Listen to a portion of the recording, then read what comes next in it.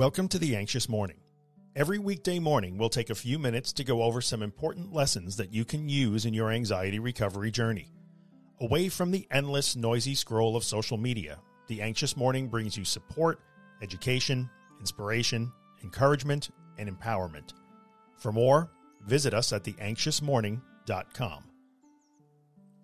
In his book Atomic Habits, James Clear wrote, One of the most effective things you can do to build better habits is to join a culture where your desired behavior is the normal behavior. New habits seem achievable when you see others doing them every day. Let's talk about your anxiety support system. Who are you surrounded by? Who are you leaning on and sharing with? What do they believe about your anxiety? And what are they doing about theirs? These are important questions because who you surround yourself with can have a real impact on your recovery. Let's look at the definition of support for a moment. What is support? What does it mean to you? Almost by default, support is seen as having a place where you can share, vent, and commiserate with people that understand and or share your struggle. Having support means not being alone with your problems. I won't argue against that. This is certainly true in my eyes. But that can't be the only definition of support. I would argue that support also means cheering for you and believing in you when you are struggling to believe in yourself. Support involves encouraging, inspiring, and empowering.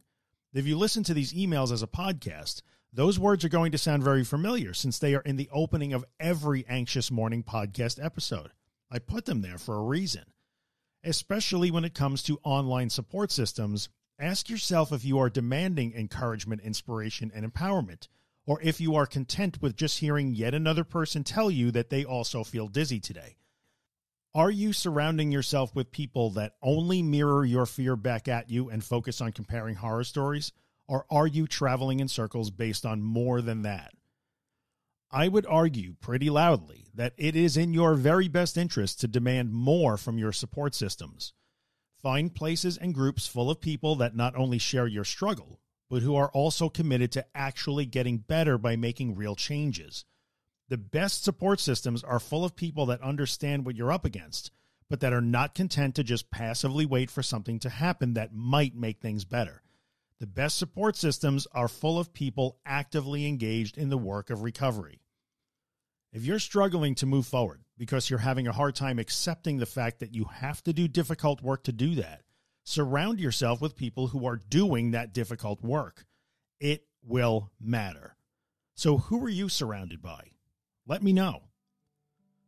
Tomorrow, we'll follow up on this topic by looking at how helping can also help the helper. Hey, if you're enjoying the podcast and you'd like to get a copy of it delivered every morning into your email inbox, including a full text transcription, head on over to theanxiousmorning.email and sign up for the newsletter. And if you're listening on iTunes or Spotify or someplace where you can leave us a rating or a review, take a moment and rate the podcast and maybe write a small review. It really helps us out. Or just tell a friend about us. Thanks a lot.